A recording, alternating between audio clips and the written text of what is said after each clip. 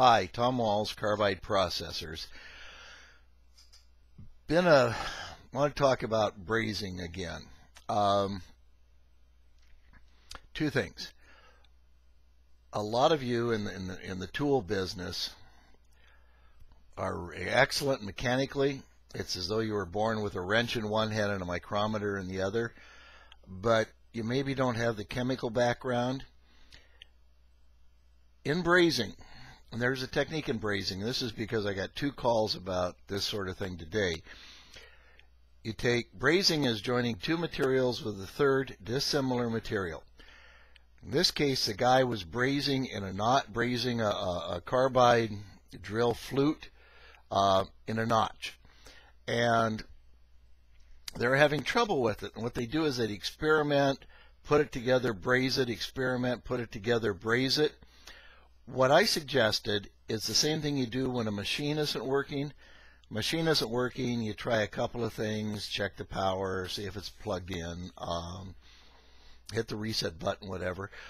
But if it's broken, you start taking it apart and you examine the parts and you look for maybe uh, you look for maybe signs of arcing in the electrical.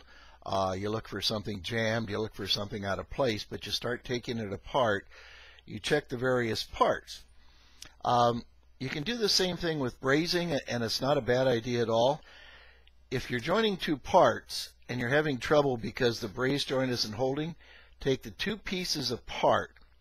If you're using a tri-metal, you're going to need a little bit of wire, a little tiny bit. Uh, there's a hand. Figure the hand is your carbide piece.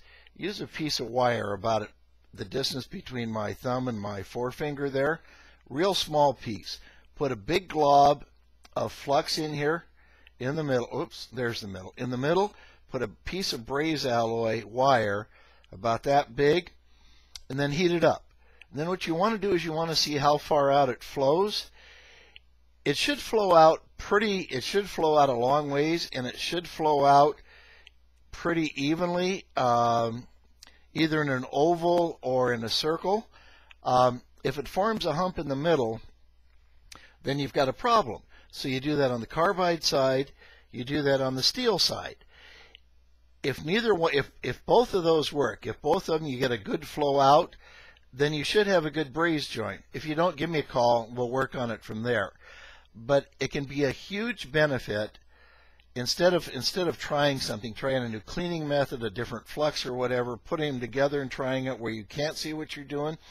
If you do it this way with a little piece of braze alloy and a lot of flux in the middle, heat it up, then you can see what's happening right there and you can test the, test the surface conditions.